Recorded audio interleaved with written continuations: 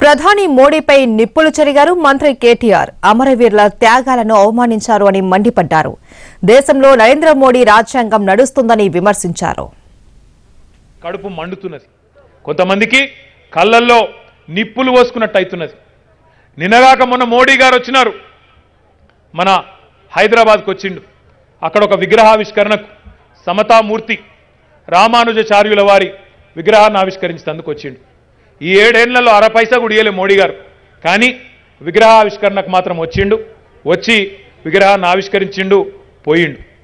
పోతే మరి ఇక్కడ ఏం చూసిండో? ఇక్కడ పచ్చబడుతున్న పల్లెలను చూసిండో? లేకపోతే చక్కగా ఉన్న పట్టణాలను చూసిండో? ఏం చూసిందో కానీ ఆయన కడుపు మండింది. ఆయనకు ఎందుకో నచ్చలేదు. గుజరాత్ కంటే తెలంగాణ ముంగడి కురుకుతున్నదని చెప్పి బాధ అయిందో ఏందో కానీ కడుపు మండింది. పార్లమెంటులో రాష్ట్రపతి గారి ప్రసంగానికి ధన్యవాదాలు చెప్పే ఒక సందర్భంలో ప్రధానమంత్రి మాట్లాడతాడు. ఏమంటాడు?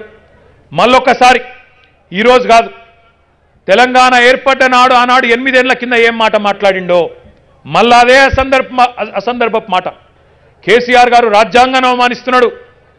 కేసీఆర్ గారు అంబేద్కర్ను అవమానిస్తున్నాడు అని నోటికొచ్చినట్టు కొంతమంది వాగుతా ఉన్నారు. నేను వాళ్ళని అడుగుతా ఉన్నా మేము అంబేద్కర్ గారు చెప్పిన మార్గంలో నడిచి తెలంగాణ సాధించుకున్నాం. మరి వాళ్ళు నేను అడుగుతా ఉన్నా భారతదేశంలో అంబేద్కర్ గారు రాసిన రాజ్యాంగం ఉన్నదా? ఇవాళ మొత్తం నరేంద్ర మోడీ రాజ్యాంగం నడుస్తున్నది. రాజ్యాంగబద్ధమైన సంస్థలన్నింటినీ తన గుప్పెట్లో పెట్టుకొని ఆ సంస్థలేందో అందరికీ తెలుసు. గవర్నర్ వ్యవస్థలు ఎలక్షన్ కమిషన్లు ఒకటి కాదు అన్ని వ్యవస్థలను ఆయన ఆధీనంలో పెట్టుకొని ఆయన ఆడిచ్చినట్టు ఆడే ఒక నాటకం సాగుతూ ఉన్నది. విషం నింపుకొని తెలంగాణ మీద ఎప్పటికప్పుడు విషం జిమ్మే ఈ భారతీయ జనతా పార్టీని. ఒక కంట కనిపెట్టవలసిన అవసరం తెలంగాణలోని విద్యావంతులందరికీ కూడా ఉన్నది. పక్కన కర్ణాటకలో చూస్తున్నాం ఏమవుతున్నదో అక్కడ ఆడపిల్లలను చదువుకోవడానికి పోతే మతం పేరు మీట విద్యార్థుల్లో కూడా చిచ్చుబెట్టి అక్కడ మూడు రోజులు ఇవాళ విద్యా సంస్థలు బంద్ చేయవలసిన దుస్థితి. ఒక దిక్కేమో బేటీ బచావో బేటీ పడావో అంటాడు. ఇంకో దిక్కేమో ఆడపిల్లలు చదువుకుంటందుకు పోతే బేటీ డరావో బేటీ దమ్కావో. ఇది మీ పరిస్థితి. విద్యార్థుల్లో చిన్న వయసులో ఉన్న పిల్లల మధ్యన మతం పేరిట విషం నింపి ఆ మత విద్వేషాలు రెచ్చగొట్టి ఆ రెచ్చగొట్టిన మత విద్వేషాల్లో చలిగాల్చుకునే దిక్కుమాలిన ప్రయోగాలు ఏవైతే చేస్తున్నారో ప్రధానమంత్రి గారు గవి బంద్ చేయండి. ఒక కొత్తగా ఏర్పడ్డ రాష్ట్రానికి గుండెల నిండా ప్రేమను పంచాలి ప్రధానమంత్రి.